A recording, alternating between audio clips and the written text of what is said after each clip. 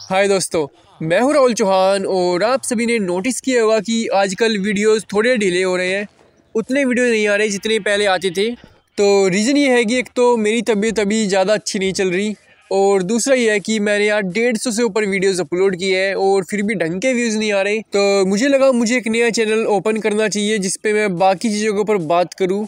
और कुछ और चीज़ें ट्राई करूँ। तो हाँ इस चैनल पर अभी वीडियो आते रहेंगे गेमिंग के।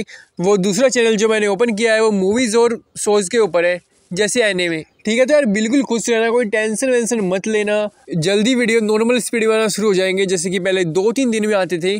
ठीक है तो जल्दी नॉर्मल स्पीड हो जाएगी। दो तीन महीने का टाइम तो लग सकता है।